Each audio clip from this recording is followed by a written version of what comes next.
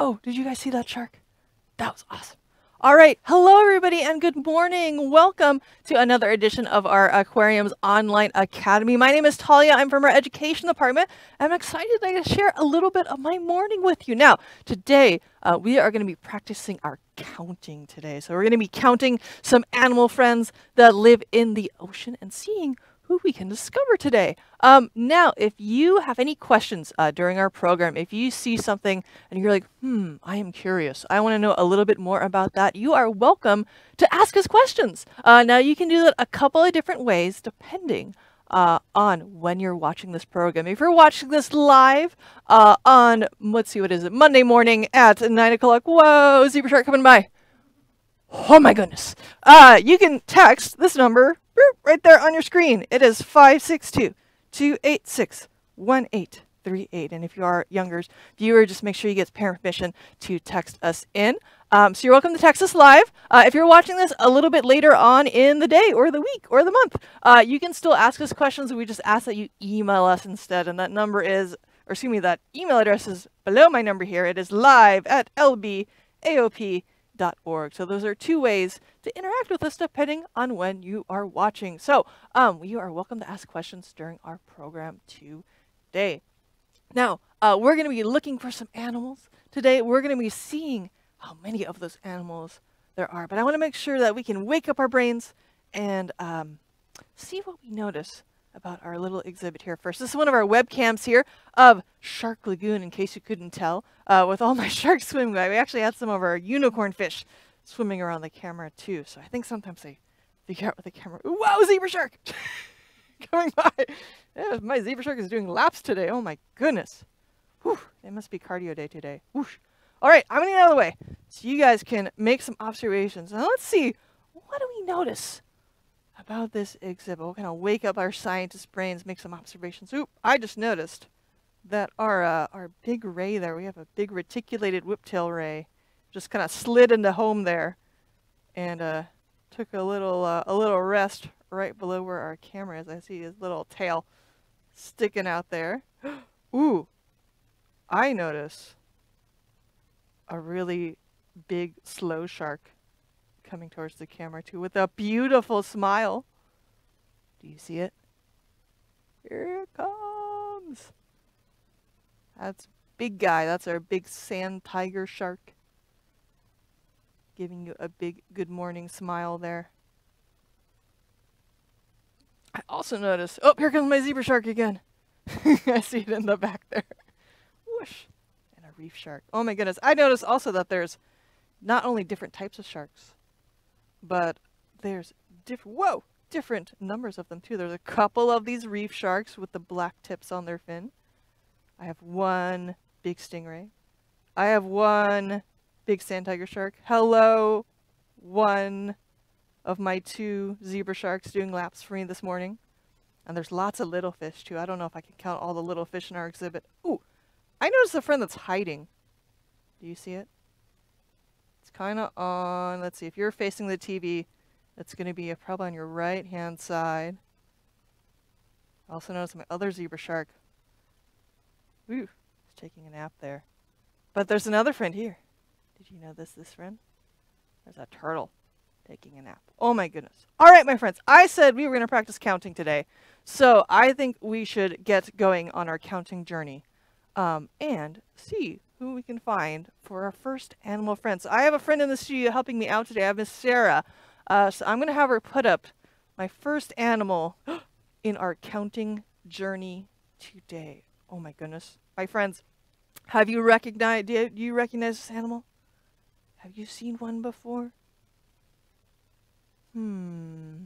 I count one, one sea turtle. Oh my goodness sea turtle. This, I think, is, is this a green turtle? Miss Sarah? I don't remember. Yes! Yay! All right, I got it. This is a green sea turtle. Um, and turtles are pretty awesome animals. They are very good at swimming. They have nice kind of flippers instead of hands like us to help them swim in the water. They also have this nice hard shell. It would be pretty hard if I knocked it in to help keep them safe. So kind of like we wear a helmet when we ride a bike. It's kind of like having a helmet on all the time. Ooh, and let's watch this turtle do a nice swim. So they're going to be using their front flippers to kind of get their push through the water. Sometimes how we use our arms to swim forward. And then it looks like they're using their back flippers to kind of steer a little bit more. Do you think we could swim like a turtle? Let's see. I'm going to make my hands kind of into flippers. I'm to see if I can swim like a turtle. Let's see. Whoosh. There I go. Whoosh. Whoa. Okay, I'm to turn around because I'm to hit this this wall here. Whoosh. I guess I'm a very I'm a very fast turtle today. How about you guys? How are we doing? Okay. I'm to I'm to get back. Whew. That was a lot of swimming in the morning. Okay. All right. Whew. All right. We did it. We swam like a turtle. Good job, my friends. You were all excellent turtles. Great job. All right, so we have one sea turtle. Comes after the number one?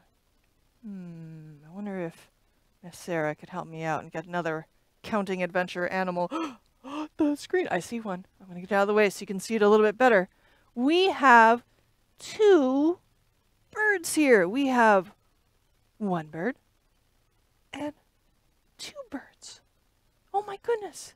This particular type of bird is called a puffin. If we want to be even more specific than that, this is a horned puffin because it has this little thing right above his eye. Has a little, little feather boop, right there. And my other friend has one right there. So these are two horned puffins. Um, they are a type of bird that are a diving bird, so they are very good about kind of flying under the water. They can fly in the air too, but they're kind of built a little bit more for the water, so they are very good at swimming. And they actually find a lot of their food in the water too, so they'll kind of be flying up on high, go, aha, there's a tasty snack, and then go down to the surface with a splush and catch some yummy food in the water. Sometimes they're getting little teeny tiny shrimp. Sometimes they're getting little schooling fish and they'll hold them in their beak and then fly back to their nest. They live on really tall cliffs and then eat their snack. Whoa! Oh my goodness. Do you see that? How many fish are hiding in that puffin's beak? Did you expect to see that many fish in one bird's beak? That's a lot. Let's see. I wonder if I can count how many fish. Let's see. I see an eyeball here, so I'm going to count that as one, two, three, four, five. Maybe there's six. Can't quite tell. Seven. I think there are seven, seven, seven fish in one puffin's mouth. That is amazing. Can you fit seven fish in your mouth? I don't think so. That'd be difficult. I I have may I maybe get might get one. Maybe. But that's seven, seven little fish in this one puffin's beak. Oh my goodness. Their beak is actually really cool too. Um, it has some special things in it to help it catch on to all the yummy fish. It had little spines on the inside that kind of act like little, little forks almost, go and catch on to the very slippery fish. Um, they also use their tongue to help them catch the fish. So they'll catch a fish, kind of hold it in place with their tongue, go get another fish, hold it in place with their tongue, get another fish, hold it in place with their tongue, so that's how they can stack so many yummy, delicious fish in their beak. Oh my goodness. They are such a fun friend to find in the ocean. So let's see. We have one turtle, two puffins, one, two. I wonder what animal we're going to find next on our counting adventure. oh my goodness. My friends, do you recognize this fish? It's a pretty famous fish. Let's see. I'm going to get out of the way so you can see all these beautiful fish and again, my friends, if you have any questions, if you're wondering about anything today during our program, you are welcome to text those questions in to 562 286 1838. Happy to answer any questions if you are curious about anything this morning. Oh my goodness. Okay, so I spy three fish. One, two, three. Miss Sarah was nice. Remove my banner so we could clearly see fish number three. These are clownfish. Oh my goodness. Do you, do you notice also? What are they living in? What's all this? Is that grass? Hmm.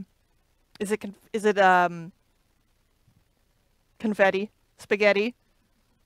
Hmm. No. they live in a very special home. They live in an anemone. Oh my goodness. So they live in an anemone. Anemone looks like this friend, kind of almost looks like a flower under the water here. And that's, I think, what they're they're kind of named after the, the flower called the anemone too. Anyways, they have very interesting way to help them catch their food. They actually have little stinging cells to help them catch their food and then bring it into their middle, which is where their mouth is. I know this looks like a belly button. It's not a belly button. It's their mouth. But anyways, they use stinging cells to help them catch their food. But wait a minute, we just said the anemone lives, or excuse me, the clownfish. You could also call them anemone fish, I think so that's where my brain was going this morning. Anyways, we have said the clownfish lives in the anemone, but the anemone has stinging cells. How does a clownfish live in the anemone and not get stung?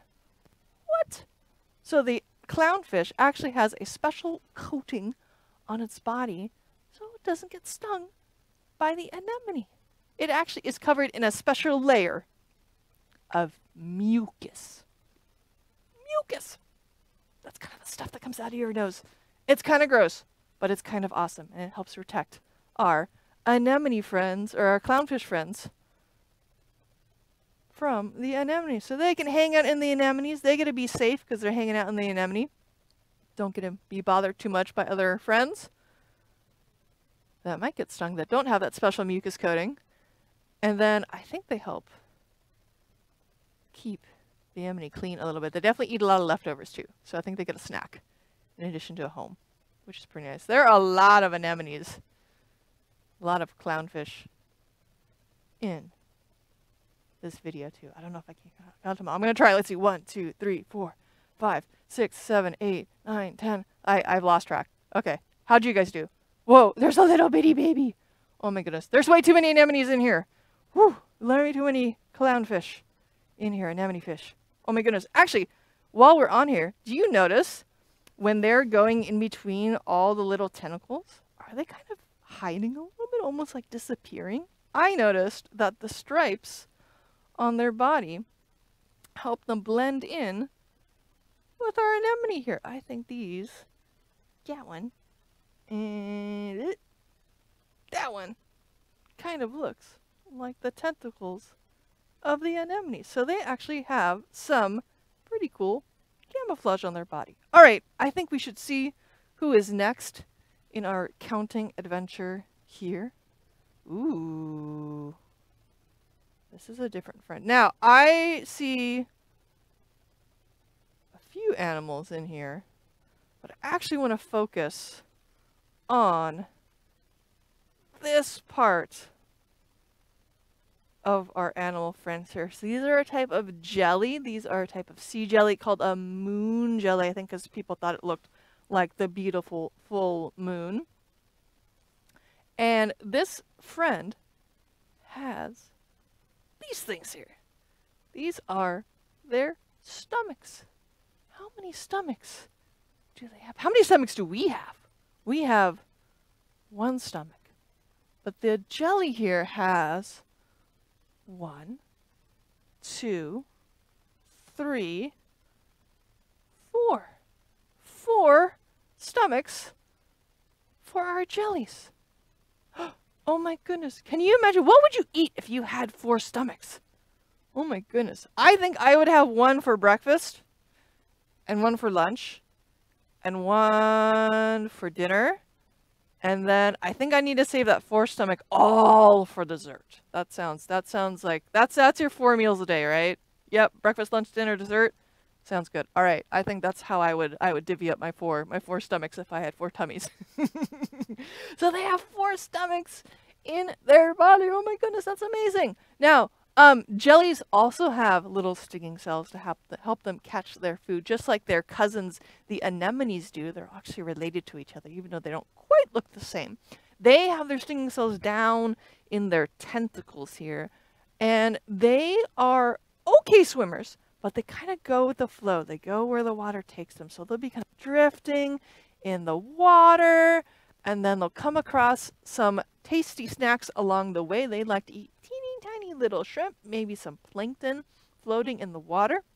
They'll sting those with their tentacles, and then they have these really frilly arms. Let me see if I can point them out. They're a lot thicker right over there um, to help bring them up to the middle where their mouth is and eat it. Now, they don't have a mouth like us. They don't have teeth or chompers to be looking for. They just have a little hole.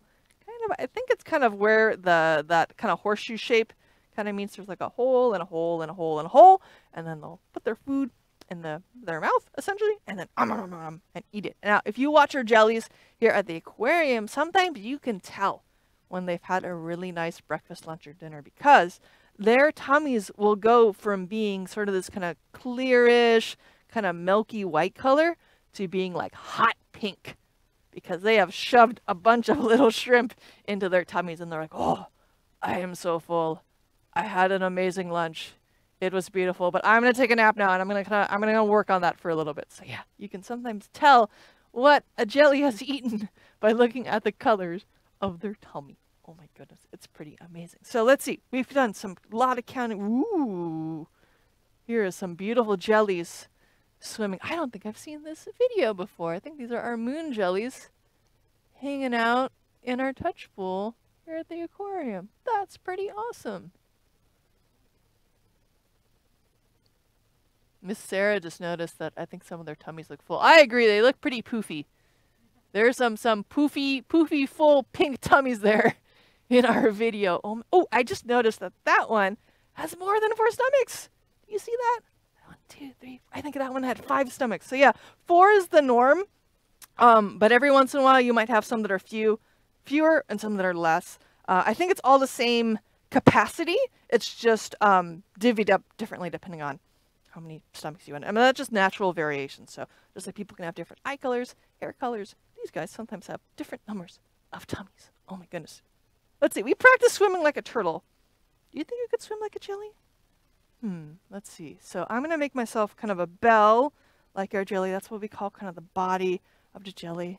And they kind of move, kind of move like this, and they kind of go with the flow. So let's see. I think the water is going to take me this way. So I'm going to go this way, along with the water.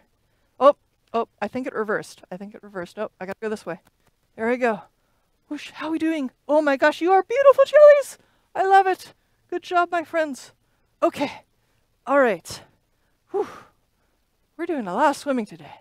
Okay, so we found four beautiful, or we found four tummies, I should say, on our beautiful jellies. There are a lot of jellies behind me. That's a lot, a lot of jellies to count. But I think we have some more animal friends to find and count today. So let's see who our next friend is. There's something behind me.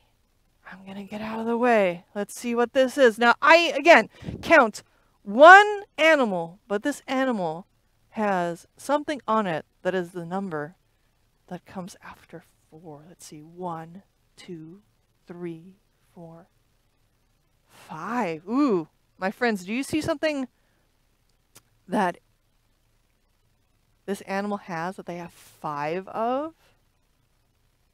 Ooh. All right, my friends. So we're looking at our sea star here.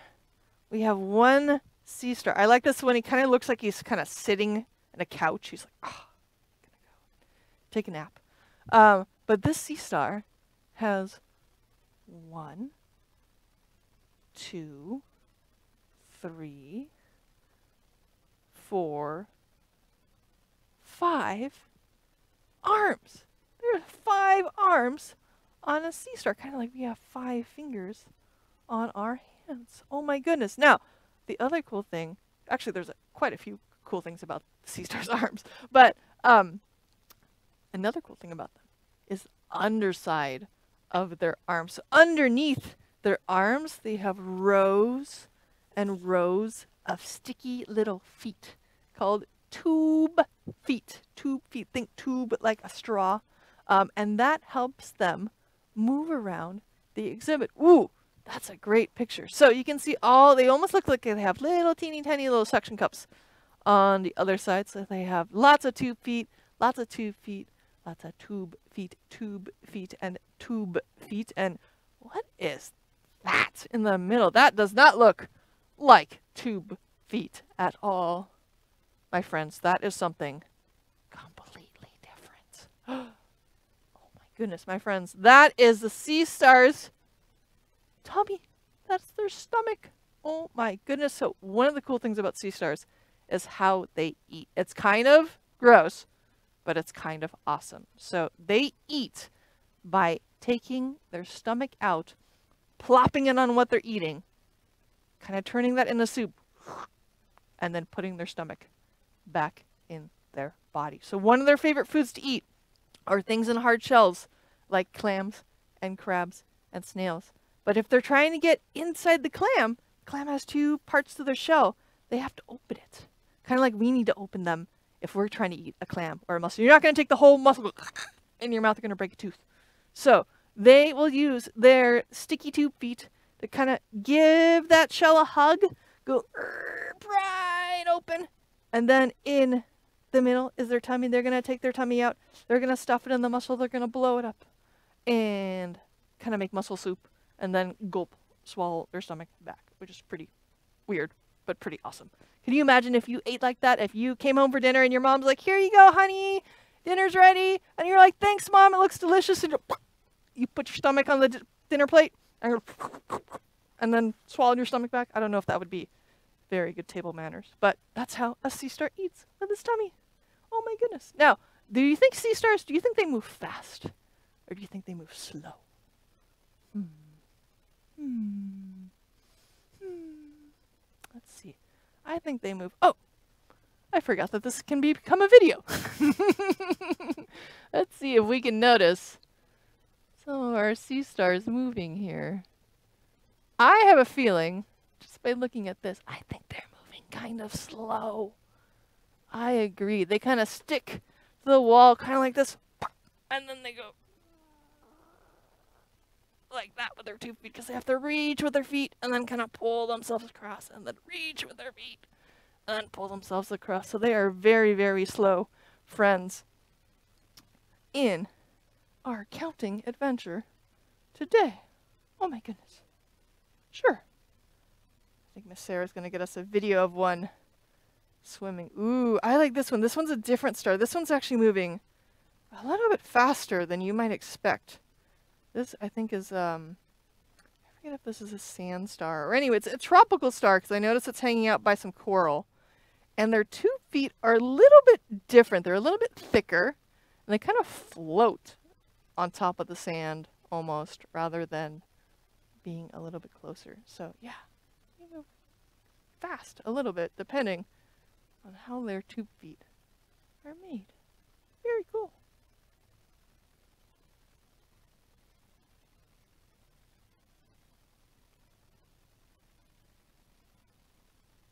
Oh my goodness.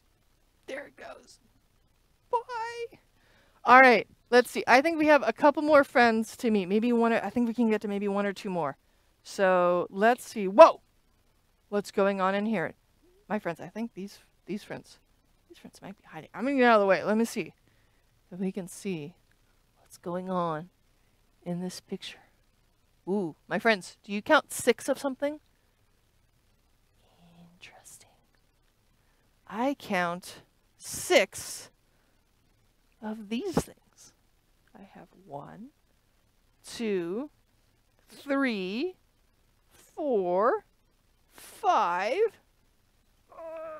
six, six of these friends, which are limpets. Limpets is a, or let's say a limpet, limpets plural, limpet is a type of snail. So they have a shell like this, and then underneath the shell is a little strong foot, and they and they stick on to rocks. This friends looks like they're kind of wedged into some rocks, maybe at a tide pool, and they get to hang out and eat algae. So they are kind of like vegetarians, and they like to eat algae that are hanging out at the rocks. So I count six limpet friends. One, two, three, four, five, six hanging out in the tide pool. Very cool. Okay, my friends. Are there more animals to count? I think there might be. Let's see. Let's see if we can count. Oh my goodness! Get out of the way. What are those? oh, these friends are very excited about a snack. I see. He's floating in the water. These animals. During breakfast time. Whoa. Now these friends are called garden eels. They like to bury themselves tail first in the sand. They'll have a little burrow to pop their heads out and be like, snacks. Snacks, please. There's some little tiny, I don't know if you can see, it kind of looks like it's snowing almost in the background. There's little tiny shrimp that are kind of floating in the water that they're trying to gobble up and eat for breakfast. How many eels Let's see. There's one, two, three, four, five, six, and then seven. There's a little teeny, teeny, tiny one hiding right there. Oh my goodness. So there are seven garden eels in my video. Whoa. Now these garden eels, these are drop eels, I believe. They live in a little bit warmer water. I also noticed, do you notice that they have some dots on them? I see lots of little teeny tiny dots. But there's also, ooh, that's a, this one looks a little grumpy. But that's okay. Uh, I also noticed not only do they have all these little, I'm not going to make you count all these little teeny tiny dots. That's a lot of counting to do. And we don't have time to count all those dots. That's a lot of dots. But I noticed it also has a big spot and a big spot there. And we call those sometimes when we see big extra spots on animals, sometimes those function, those act as what we call false eye spots. So it's kind of like having a pretend eye on another place on your body. And sometimes that confuses things that might want to eat this garden eel as a tasty snack because they'll either think, wait a minute, is that the eye? Is that the eye? Is that the eye? I don't know where this animal's facing. I don't know where its face is anymore because I'm seeing some eyes on different parts of their body. Um, so they might think, oh, I don't know where to go for this animal. That's really confusing. So sometimes it helps keep animals safe by kind of having a little bit looks like extra eyes on their body, which is pretty amazing. Oh my goodness. So we have seven garden eels in our garden this morning. All right, my friends, I think we have time for one last animal today. It's my favorite, one of my favorites, I should say. And it has a lot of, a lot of something. Whoa. Whoa. Okay, I'm gonna get out of the way. My friends, do you recognize this animal? oh my goodness, we have an octopus here. An octopus has kind of a number hiding in its name. If we think of octopus and we think of octo, like an octagon, like the shape, an octagon has eight sides. And an octopus has eight of something too, right? What does an octopus have eight of? Ooh, I think I see it. My friends, if you said an octopus has eight arms, you are correct. I agree with you. It has one, two, three, four, five, six, seven, eight arms. And I love that these arms also kind of have polka dots on them. We have a polka dot, polka dot theme going today. So these polka dots are actually big, giant suction cups, which help the octopus move, helps the octopus grab on to tasty snacks to eat, and they'll bring it all the way into the middle, boop, boop, boop, right there, where their mouth is, and go crunch and eat it. So octopuses, the only hard part in their body is that mouth, is that beak. So you can have a big, you know, 20 foot octopus, but its beak's only that big. So it can squeeze into all sorts of nooks and crannies and crevices, even though it's a really, really big octopus. They're pretty awesome. One of the other things I love about octopuses, not only do they have eight wiggly squiggly arms, um, they are very good at hiding. So this octopus kind of looks red. This is a giant Pacific octopus. This is kind of the normal color of the octopus, but if it wanted to hide somewhere, it could absolutely blend in with the rocks and kind of its surroundings in the background. So they have the ability to change their color by some special kind of sacs of ink in their body, which is pretty cool. And I'll be like, I'm going to be looking more like a rock now. Be all gray and white. They can also go from being very smooth to being very bumpy. So they are a very cool animal friend that we have in our oceans. Ooh, I think we're going to get a video of one moving around with their eight wiggly, squiggly arms. They're so awesome. You might even be, if you look really close in between them, those arms, do you see their mouth? You might get a glimpse of it. There it goes. That's one of my favorite times when I'm walking by the octopus exhibit when they decide to be, I'm going to show off that I am an amazing octopus. Look at me. That's one of my favorite bits. See all the little sections of soy on the glass.